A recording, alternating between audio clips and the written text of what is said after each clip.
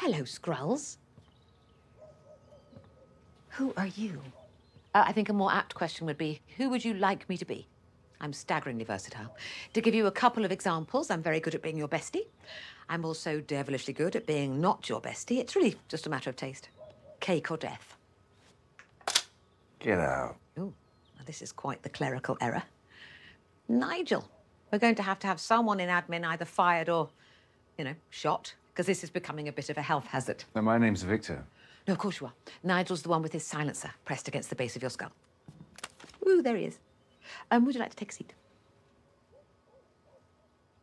Now, from these samples I was able to observe under the microscope, you are breaking quite transgressive ground. Would you like to tell me all about it? No, our work here is far too Not compli- you.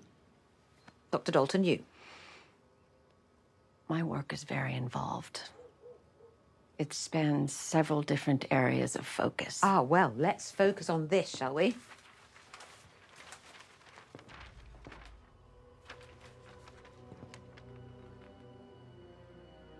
Now start from the very beginning and don't miss out a damn decimal point.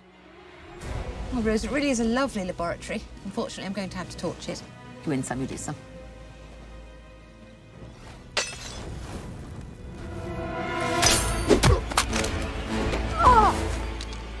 I won't let her betray Gravik. Let us go, or I'll kill her. Oh, I don't doubt you for a moment. The males in my species are very similar.